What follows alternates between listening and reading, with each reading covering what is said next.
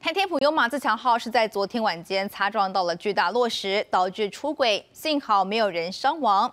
而落石来源是来台九线苏花公路上边坡落石。公路局初判，落石是击坏了省道的山侧防护装置，又弹跳过省道的路面，掉落到轨道上。今天已经去补强了防护网。交通部也说明了，会请台铁来评估，把该处纳入到落石告警系统建制。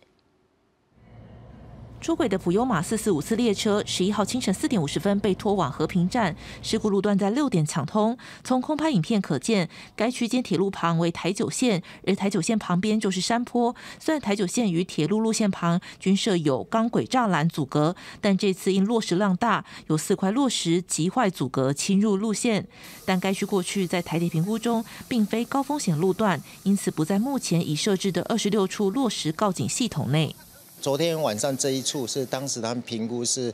边坡相相对稳定哈，那它主要的边坡是在公路的边坡，那掉下来以后再弹到下面铁路了哈啊，如果是他们重新评估，呃需要来做告警系统，那交通部这边会全力来支持。至于为何没有提前发现落实，台铁内部人员指出，依照 SOP，路线震度四级以上就会启动边坡轨道巡检。过去一周反复巡检多次，该路段都未有落实。而事发前，前一班列车经过时也还没有发现落实。学者建议，强震后全面加强巡检外，也要导入科技来辅助，引进一些新的设备，然后无人机啊，或者是说边坡的这种测试的先进的仪器哦。目前的抢修看起来都是在极短的时间内哦完成，让铁路进速。的运输，那是否有去考量到说，呃，周遭有可能再有其他的这个二次灾害的发生的可能性？台铁产业工会建议要更注意沿线的地质状况。台铁企业工会也直言，当地二零一九年夜间曾发现落石，台铁虽建制钢轨栅栏，